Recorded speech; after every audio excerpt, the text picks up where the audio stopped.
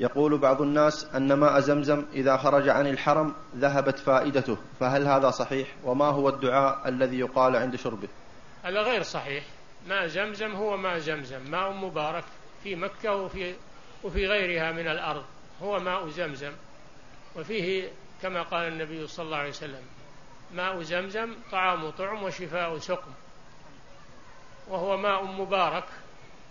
والدعاء يقول اللهم يسمي يقول بسم الله ويقول اللهم اللهم اجعله علما نافعا وعملا صالحا. اللهم اجعله علما نافعا وعملا صالحا وشفاء من كل داء. اغسل به قلبي واملأه من من من واملأه من خشيتك.